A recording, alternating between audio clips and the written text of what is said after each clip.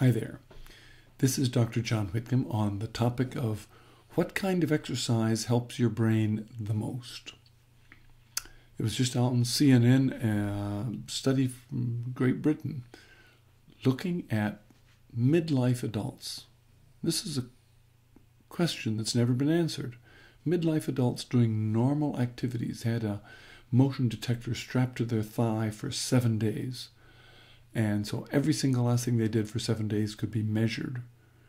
And in our current world, with the accuracy we have of our new measuring devices, we can see the intensity of exercise. How much exercise? And this was done to a couple thousand subjects. The answer may surprise you. It turns out it just takes six to nine minutes of moderate exercise Got to do something to get your heart rate up. Biking on the flat won't do it, but biking uphill will. Standing in the kitchen washing dishes won't do it, but stairs up and down doing laundry will. But six to nine minutes.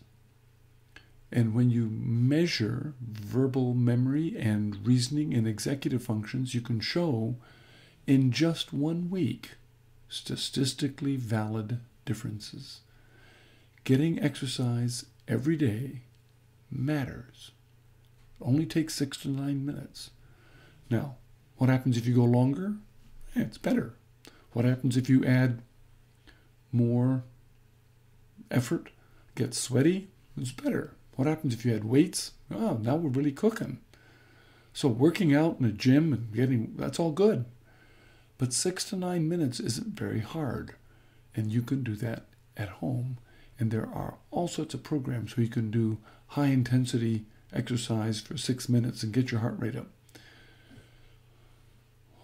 What will work for me?